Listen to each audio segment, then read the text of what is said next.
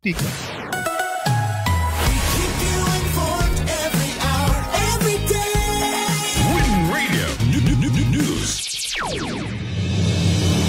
Good morning, Cebu City. My name is Rico Valentino. This is our news, Karumbuntaga. CICC hawanan sa Marso gikan sa mga nasunugan. Nagplano ang Mandaue City Government nga hawanan ang luna sa North Reclamation Area diin nahimutang ang Cebu International Convention Center or CICC. Si Malalaban James Jamal Kalipayan, City Administrator nitugan ni atong Biyernes, Disyembre 8, 2023, nga nanghinaot sila nga masugda na ang clearing operation sa Marso sa sunod tuig aron na masugda na sa syudad ang pagtukod sa gipaabot nga one-stop shop nga pasilidad sa gobyerno. Mukabat sa 500 ka mga pamilya ang maapektuhan sa nga naapektuhan sa sunog sa barangay Gizo niadtong 2016 og Sitios Basubas ug Maharlika sa barangay Tipolo niadtong 2019 nga gipapuyo sa CICC. Ang Tipolo Residences sa Sitio Maharlika usa ka socialized housing development nga gituyo aron puy-an sa mga biktima sa sunog. Adunay groundbreaking ni atong Nobyembre 2022. Si John B. Biton, Pangulo sa Housing and Urban Development Office sa Dakbayan, una nang namahayag nga ang unang grupo sa mga biktima ibalhin sa Tipolo Residences sa Oktubre ning tuiga. Hinoon gideklarar ni Biton ni atong Hulyo nga ang pagbalhin giuswag ngadto sa Mayo 2024 tungod sa posibilidad nga ang unang duha ka unang duha sa lima ka mga building nga proyekto mahimong dili mahuman sa gitak gikatakdang pag-okupar karong Oktubre. Si Kalipayan ni Padayag og pagsalig nga ang proseso sa relokasyon magsugod sa Marso sa sunod tuig ug mahuman sa dili pa matapos ang 2024.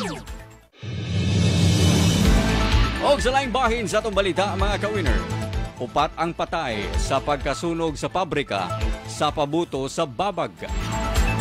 Upat ka mga tao, lakip na ang tag-iya ang namatay sa sunog sa usa ka pabrika sa pabuto sa barangay Babag, Dakbayan sa Lapu-Lapu ni atong Lunes, Disyembre 11, 2023. Ikumpirmar sa mga investigador sa kabumbiruhan sa Lapu-Lapu City Fire Station ang upat sa lima ka mga tao nga gikatahong na missing atol sa sunog ang ah, namatay. Ang mga namatay giilang nga si Sixto Berdin, ang tag-iya sa pabrika. Iyang anak nga si ah, Gwendolyn Lucero, RG Escobia and ah, Christian Monsanto. Natala usab sa mga opisyal sa kabumbiruhan ang unom ka mga individual nga nakaangkon og paso. Lakip na ang usa ka 6 anyos nga bata. Sila Justin Lianas, Julito Inok, Jay De Razonable, Joanna Berdin, Rodnel Berdin o Rendren Berdin.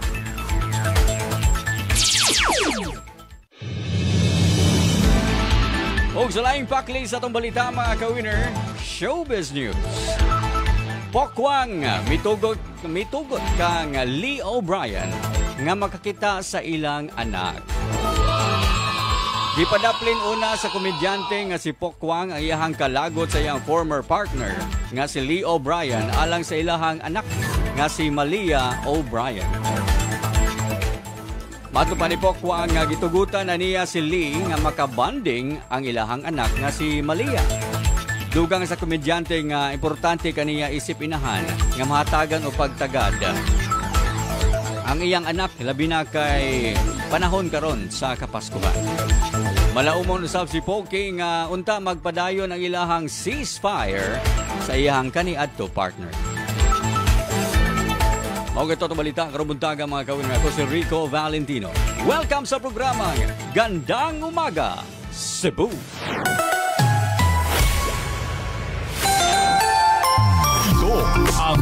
Win Radio, ang radyo ng bawat Pilipino sa Metro Cebu at sa buong mundo.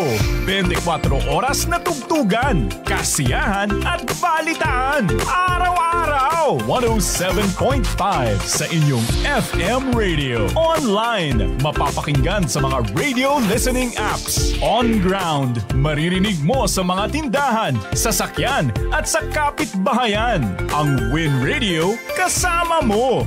Nasaan ka man, kailanman. Win Radio, ang radyo ng bawat Pilipino. Wherever you are. Win Radio. Ang Win Radio ay kasapi sa kapisanan ng mga broadcaster ng Pilipinas, KBP, celebrating 50 years of serving Philippine broadcasting.